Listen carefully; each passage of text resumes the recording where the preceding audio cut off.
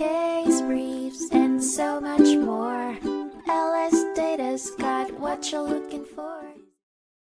In a defining legal dispute over employment benefits for same sex partners in Alaska, the state's discriminatory practices came under scrutiny. This court battle, culminating in the Alaska Supreme Court, revolved around the argument from plaintiffs that the state's restrictions on benefits for same sex domestic partners brazenly defied equal protection laws. Previously, a lower court had upheld the government's bans on benefits for same sex couples. After the initial decision was appealed by the Alaska Civil Liberties Union, the case found its way to the state's Supreme Court. Carefully examining the case, the Supreme Court of Alaska unequivocally concluded that such restrictions were indeed discriminatory and in direct violation of the Alaska Constitution's Equal Protection Clause.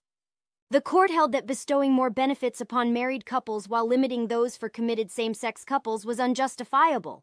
The state's government was given the mandate to provide benefits equitable to those enjoyed by married couples to same sex partners. Consequently, any rules favoring married couples were deemed to be unconstitutional and subjected to a comprehensive review to ensure all domestic partners were treated equitably. The court overturned the previous decision, sending the usually slow wheels of justice spinning backward. The case was remanded back to the lower court for further proceedings based on the Supreme Court's ruling. The decision marked a significant turning point for same sex couples in Alaska as they awaited a more equal recognition of their committed relationships.